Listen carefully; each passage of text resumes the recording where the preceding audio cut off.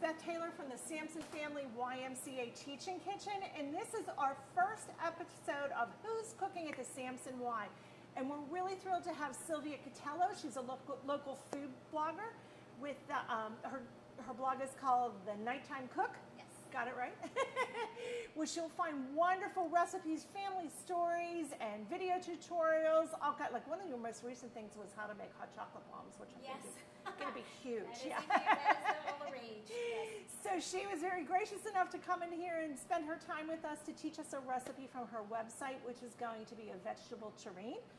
Um, or a vegetable lasagna, a lasagna that's very keto friendly. So we will have uh, Sylvia tell you a little bit about the recipe. I'm going to be her sous chef today and we'll get started cooking and talk to her about her other job and her blog as we go along. Yeah, thank so you. Take it away, Sylvia. Thanks for today we're going to make a vegetable lasagna. There's no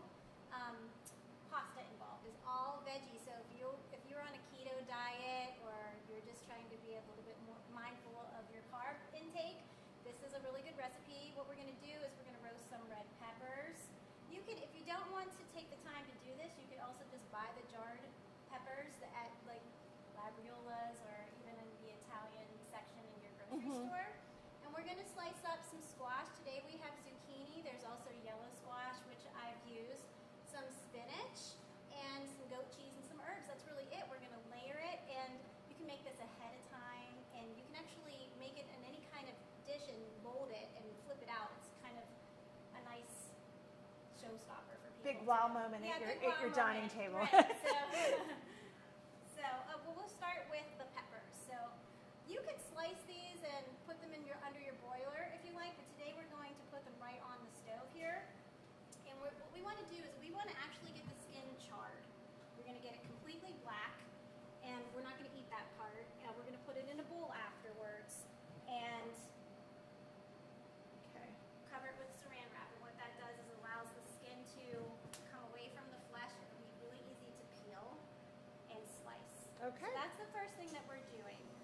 one's on?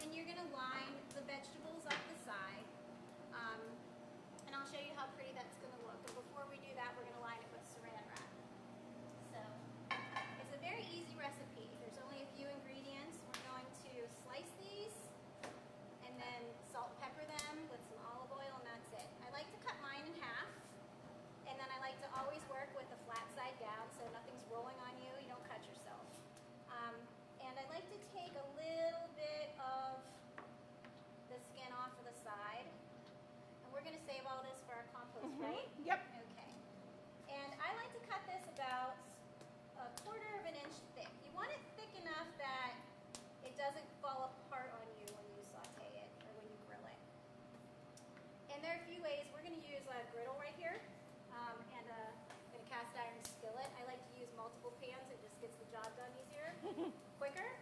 You could also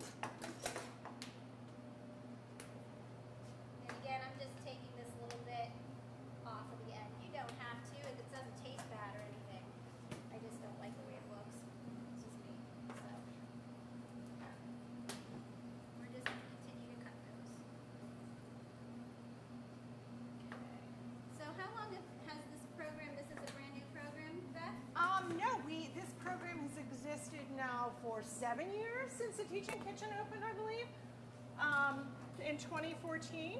So we run classes for um, five-year-olds all the way up through adults. That's awesome. right now, we're doing a lot in our virtual Teaching Kitchen. Mhm. So um, that gets people in to cook with us from home, and we've had a lot of fun with that. Mhm. And what do people like most about the class, do you think?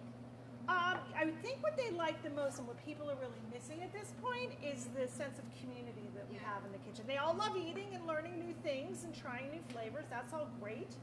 But you know, we you know we cook together and eat together, and yeah, we've had to kind of retool. But uh, we're we're looking at ways to come back.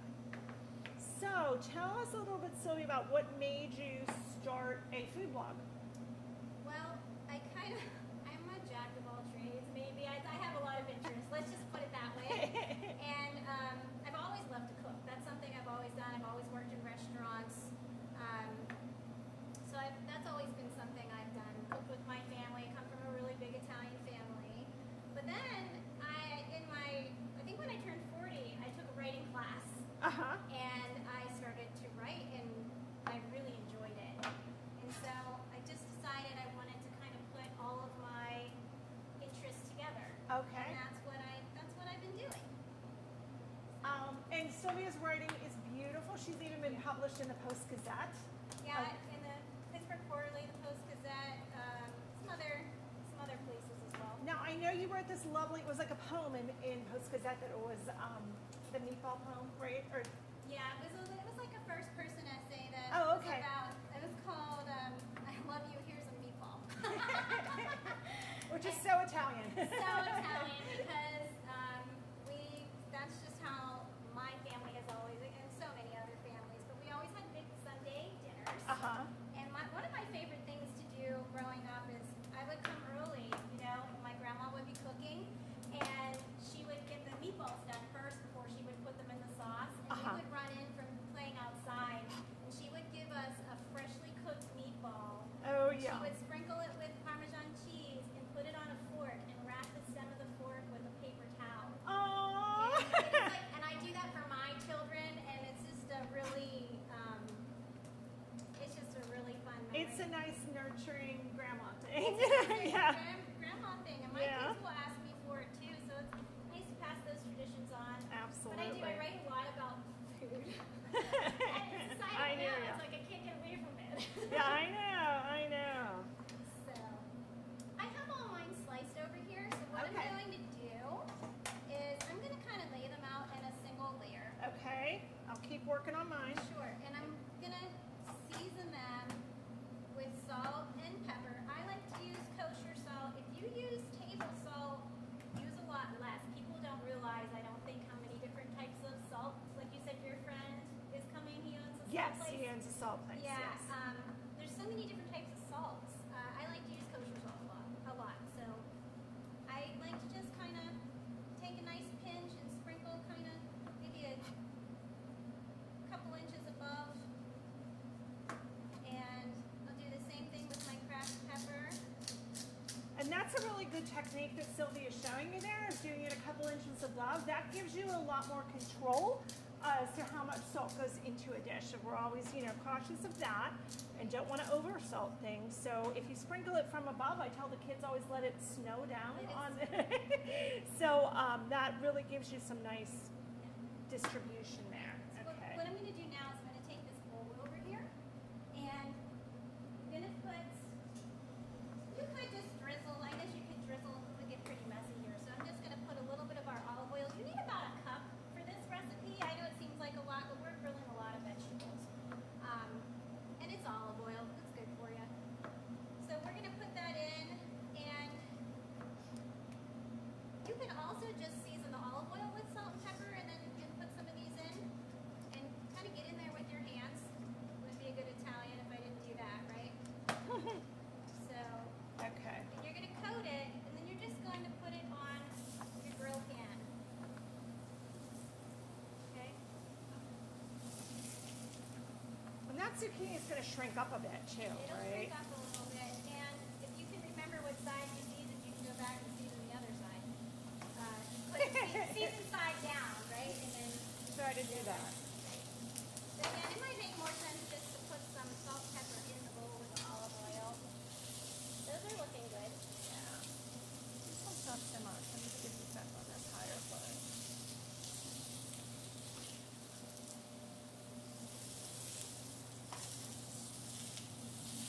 Like I said, um, you can use any vegetable that you like. Um, I just really love the squash, and if you don't like squash, you could use eggplant. Absolutely, That's a good. yeah. That's a good alternative as well. Like Um, when vegetables in season, the sky's the limit probably, That's right? Right. So this pan's full. Like I said, you know, we're gonna just put it in another pan to save us some time. Okay. And what you want to do, just want those real pretty grill marks. That guy on? Oh, I don't think he is. I'm sorry. That's okay.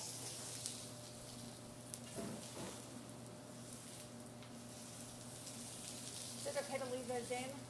Or do we want to sear them more? Or... I'm gonna turn this over. Oh, beautiful. nice? Yeah. Whoa. That's okay.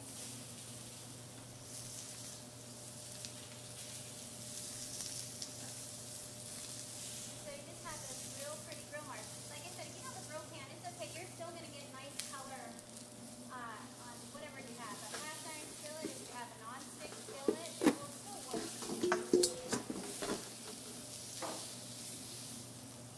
Okay. So I'm starting to peppers off. This one's super black, and this one is too. Move these around a little bit. Our hood is on, so it's pulling, kind of diverting the flame and making it a little. Okay, we're getting this nice and charred. And it's not, while it's charring and giving that really good roasted red pepper flavor, it's also going to soften them a bit too. And again, if it, I do love the, the taste of the char, and that's why I Mhm, yeah. choose to make them at home. But really, if you don't have the time or you don't want to bother, there's Yeah. very good brands of um, jarred. Yeah, roasted it's a little peppers. more cost cost effective way probably too, I would think. But yeah, and the fresh is just yeah. I'm just thinking too, like cutting corn, grilled corn off the cob to Oh, layer here, yeah. awesome. Yeah. You could do anything, and you could switch out the cheese for like if you wanted to do more of a Mexican thing. You could use what is the name of that? Coquita. Yes, that would be a nice cheese to do, and you could switch out the herbs. You could use cilantro, a little bit of cilantro. Oh, that would be delicious. Yeah. So that's what um check out these guys here. Yeah, see that's perfect. Whoa. Okay. Yeah, every time we. We're gonna take those off. um, do the bowl for the zucchini? And may I borrow the salt or the pepper? I have the salt. and I'll get these ready to go on the grill for you. Here's the salt. Okay, perfect.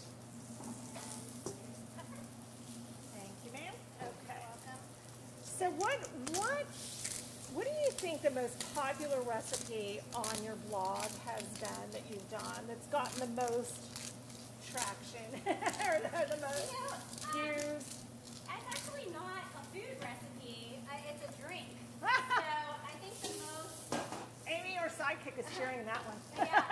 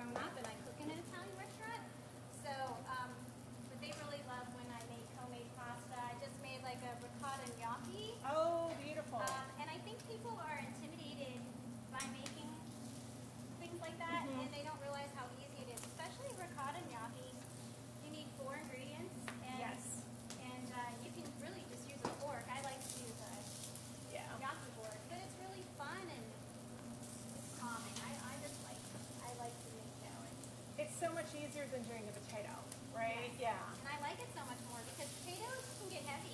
Yeah. And this is really light. And I actually put a cream sauce in with mine and uh, yeah. gorgonzola cream sauce. And it.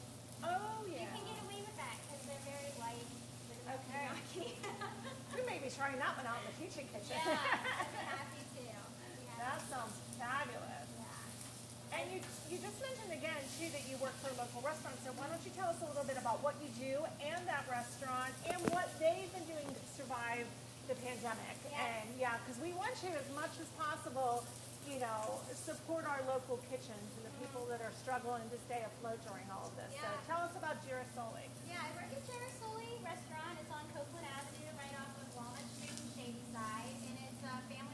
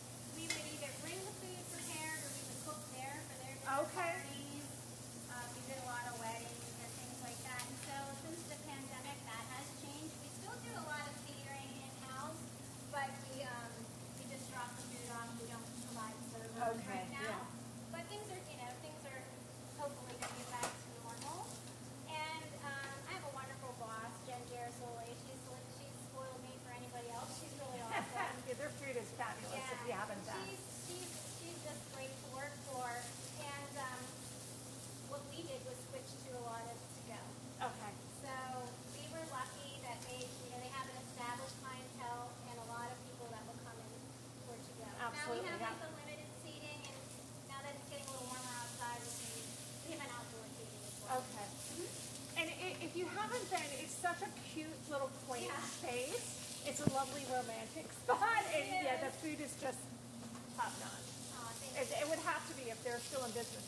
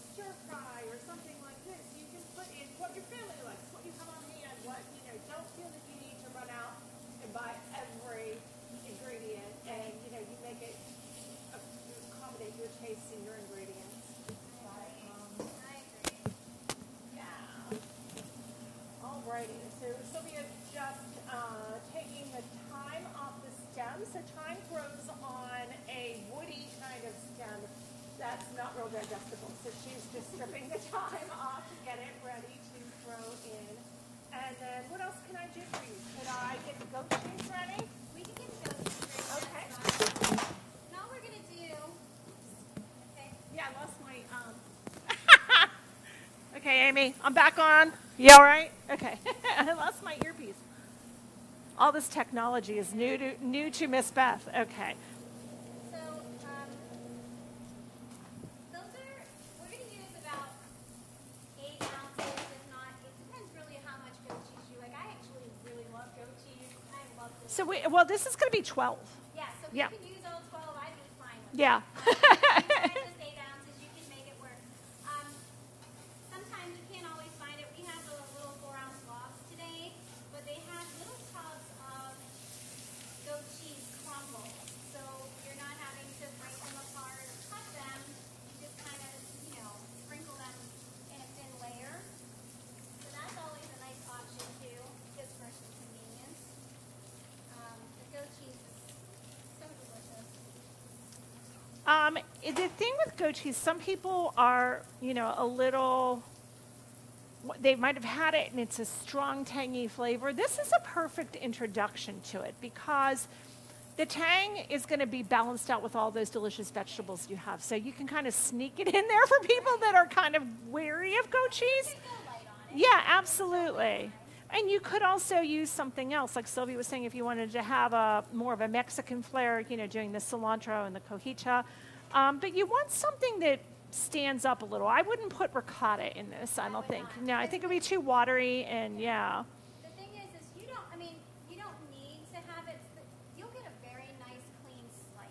Yes. Um, and it's, it's pretty impressive, I think. It's, it's a nice look. Uh, and you probably would not get that with ricotta cheese. Um, so.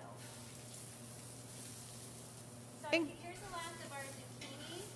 Now I'm just going to take the same pan and I am going to not drop anymore. Uh, I'm going to take this same pan. It has oil in it already. I might add just a wee bit more oil, just a little bit more. And I'm just going to get some color, some oil on these leaves. I don't want to cook it completely down. I like to keep that nice, bright, nice, bright green color. I would think that you maybe wilting it is going to lose some of that water content of the spinach, and so your overall dish isn't going to be watery. Another thing, so what, what you're gonna do is you're gonna take, um, whatever dish that you're gonna layer this in. I'm just gonna put this We're on good. so I can open it. Um, whatever dish you're gonna layer this in, is you're going to first put plastic wrap in both directions. So that you can, after this refrigerates for a few hours, you can flip it out and unfold it. Um, if, you, if you're concerned about any water content, I actually like to do this like the night before.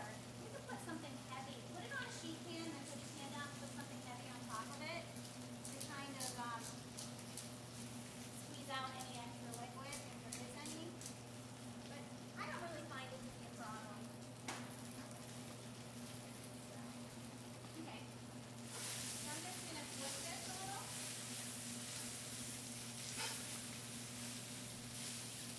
Beautiful. So, Amy, can we slide over here to me and the peppers? Can you see them? Hear better?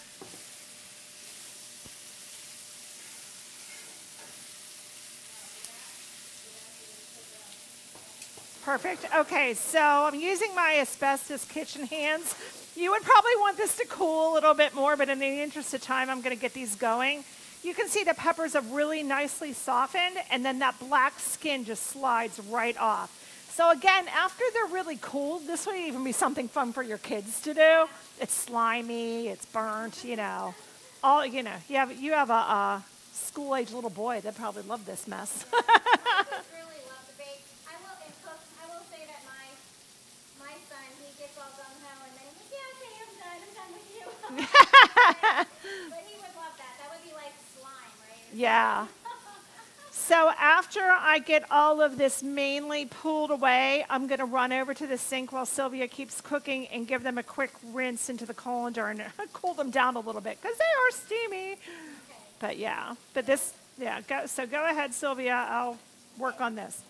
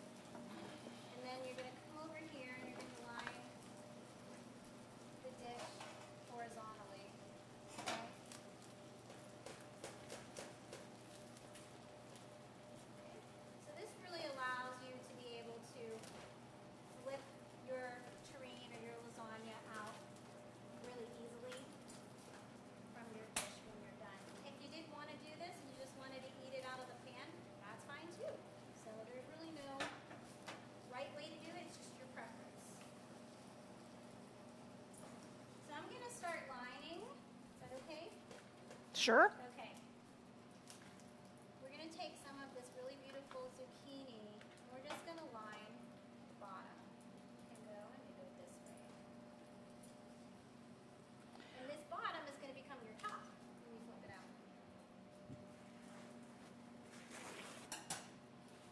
And if you need a piece that's not exactly the size, you can cut it or do whatever you need to do. You just want to make sure that you get the whole bottom covered. We'll cut that guy. I'm gonna cut this one, because this is a little bit of an odd shape. It's not exactly square, so that's okay. Okay? Do you want the um, peppers in strips or kind of slabs or? I normally do, I slice them in strips, but you Okay. can slice them however you want, and that's That's fine. Yep, How- like about like this? Some of those peppers, and we used um, like a you know tricolored peppers. I just like the different colors. Um, but you can certainly just use red if that's all you like or that's all available.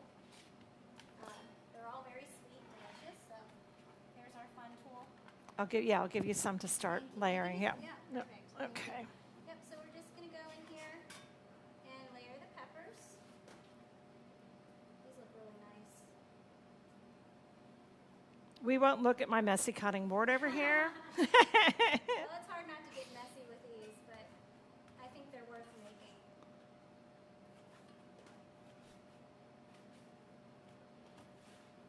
so, um, Sylvia, have you ever met Maria Moranti down in Bloomfield? Um, I have, I have gone in there and met her for like two seconds. Oh, I've y- been in the stores.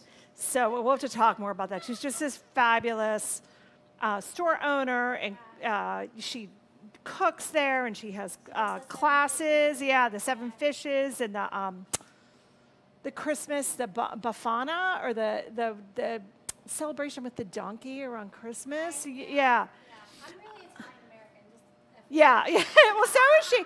But she grew up. She's one of seven. And I interviewed her for my master's thesis. So you know, so she she talks about how on the weekends they would have all the fancy vegetables on for Sunday dinner. You know, so this I was just channeling Maria. I'm thinking this is a fancy Sunday dinner It is a fancy- vegetable. You know what else? It's like um, it was really a treat when I was a kid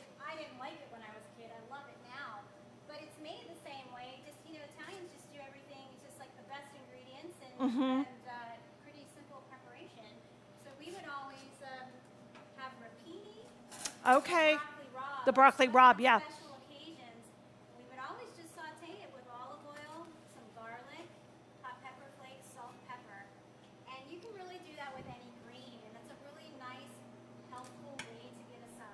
love sau- they prefer sauteed spinach. Yes. That way, um, you could do kale. Mm-hmm. So there's all kinds of things. You Keep passing those over. That's perfect. I am gonna also grab the goat cheese from you. Oh, sure. So, thank you. So when you're thinking about making this, you're going to use half of your ingredients um, at a time because you're gonna layer, you're gonna layer it twice, and then you need a little bit more zucchini for the top layer. That's it. So we're gonna use half of this goat cheese that Beth crumbled, and we're gonna just make sure we put it in even layers. So when you're thinking about putting your vegetables down and your goat cheese and even your herbs, you just want to make sure that you're getting a little bit of everything in each bite. Beautiful. So that's really it. What I'm gonna do now is drizzle it with a little bit of olive oil and sprinkle it with some of our fresh thyme. And then we're gonna put some spinach on and then Repeat it all. layer. So while you're doing that, I just want to talk a little bit about cutting the roasted pepper and dealing with it. I cut the top off of this one so you can see you still have all those seeds in there. So I'm just pulling that out into our compost. And the veins just pull out really easily like this too. And also, when you cut it open, there's going to be from all of that steaming and cooking and the water content of the pepper, there's going to be a lot of moisture in there. So I just kind of spilled that out and mopped it up with a paper towel or your dish rag. And then I'm just cutting this in nice strips for Sylvia. Thank you. This is a fun family thing you could do, you know. You can see it, this goes a lot faster with a couple hands. So yeah. Right? Just Get, get everybody to work. yeah. But um, this smells amazing. I love the smell of the char on here. Yeah. Oh, you know what I forgot to do? Is put my spinach on. So Behind you with the last of this. Okay. Thank you very much. So, when you eat this, you can serve this just on its own. You know, I have this. This is actually my brother-in-law's favorite thing I make. Oh, nice. It's his favorite thing I make. I'm just gonna put some spinach on here, and I do make it a lot in the spring and the summertime. It's just very light and refreshing. Um, you can serve it just by itself as a side dish or as the main dish, um, or you can, if you're not watching your carbs, eat it with some really delicious crusty bread. Yes. Oh, yeah. and um, they make again. You can make it yourself, but I really love to just go to, you know, the Penn Labs or wherever and get a jar of um, like a tomato chutney or a tomato. Oh, yeah, tomato, sure. Um, and serve that with this. Oh, yeah. Yeah. some uh, balsamic glaze, and I Oh, that's beautiful, yeah. drizzle that.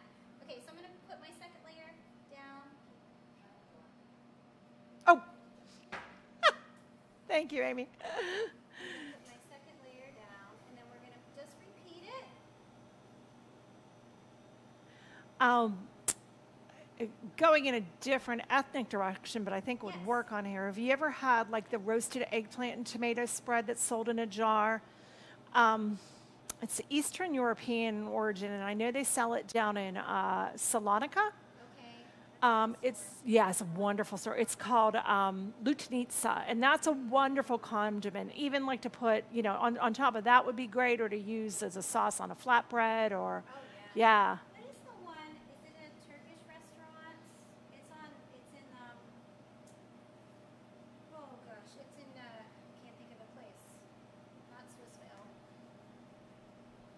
Edgewood, Edge. No. Regent Square. Um, Istanbul Grill. It's that place. So I, I think what you're talking about, I've had there. Yes, I would be surprised. Yeah. Uh-huh. And, and hummus and yeah, really delicious. So. So see, you know, I scare some people when I say we're making a vegetarian dish, but it can be so delicious and filling. Right, sidekick Amy? Yeah. She's giving us a thumbs up.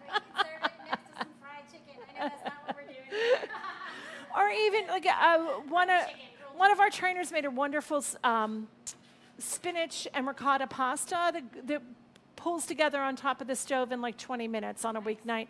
And we're going to do that in a cooking class coming up soon. But you know, with a lean protein, and even if you want to use a um, uh, a gluten-free pasta or something with that, you can.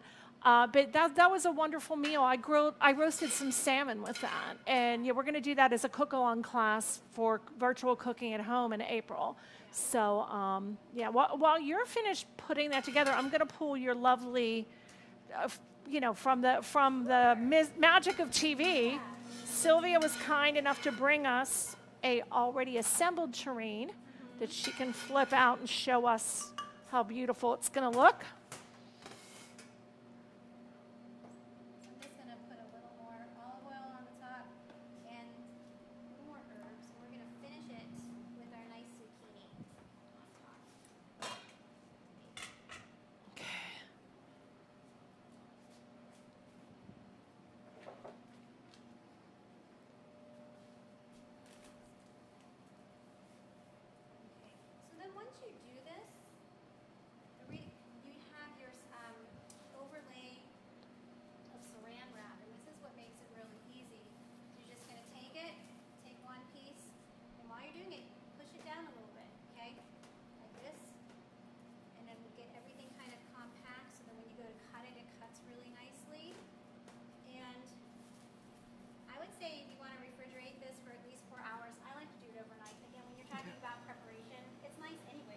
Yeah. family picnic or something. It's good to go. yeah. Fun, you know? So there you have it. Beautiful. Okay, so we'll put that in the fridge. And okay, we have that there. And the rest of that, I would be chopping that up and throwing it on a salad. That's right. That's right. So.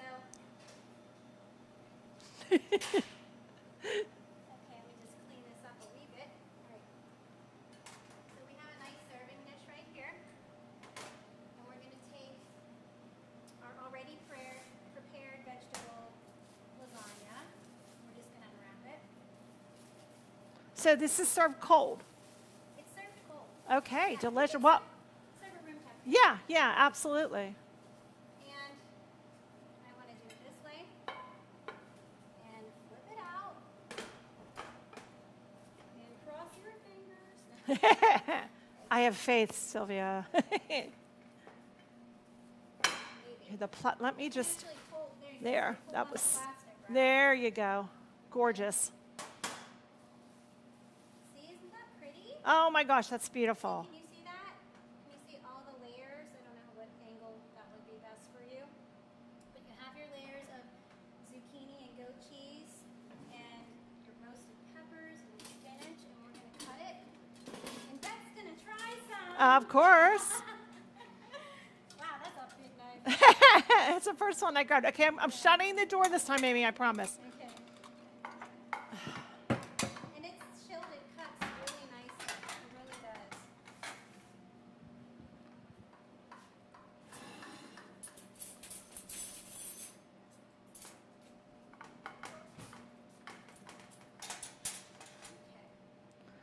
we will get with our YouTube channel. We'll get a way to link you to Sylvia's blog. And also, if you want to get the recipe ahead of time, just visit her blog, which is the nighttimecook.com, right? Nighttimecook.com. And you'll, you know, you'll find all kind of fun stuff, including that boozy cocktail as well as um, the, the, hot chocolate bombs, you know? Right, all kind of deliciousness, yeah. And she even has this great little part of um, her blog where she gives you um, hints of places to shop and things, you know, yeah. tools that she uses in her kitchen that she really likes. yeah. Mm-hmm. yes. Like yeah. So, oh, it's gorgeous. It nice? Absolutely. Here's one for you, and we have some for Amy. Amy's happy. Take a little bite of this. Mm. Oh my gosh.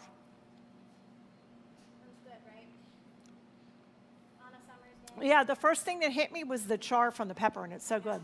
Okay, so thank you for joining us today at the Teaching Kitchen and Who's Cooking at the Sampson Family Y. And we'll be back next week with another episode.